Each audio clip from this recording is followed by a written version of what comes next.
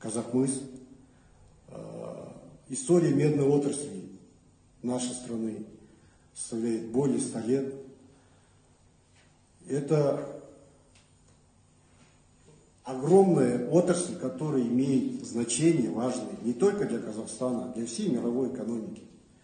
Жесказганская катода иметь была всегда эталоном на лондонской бирже металлов.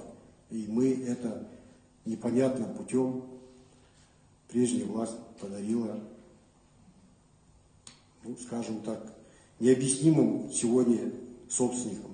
Господа Владимир Ким, Эдуард Агай, Олег Новачук, кто является сегодня официальным владельцем Казахмыса и отпочковавшись в подразделении Казминерлс.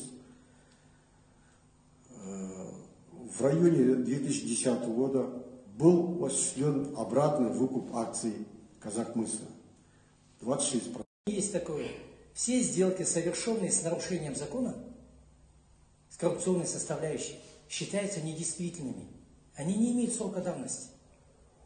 Вот с 95 -го года все сделки были по закрытым приватизационным схемам, в бюджет ни копейки не поступило от Казахмыса и от Евразийской группы. Все это должно быть возвращено народу.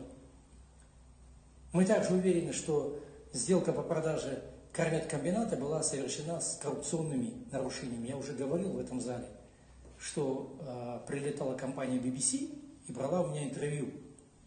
Так как мы две недели управляли Кармет комбинатом, и я отказался давать взятку, отказался давать долю, и нас с Мухтаром Джакершевым оттуда попросили. Кто пришел? Господин Митл.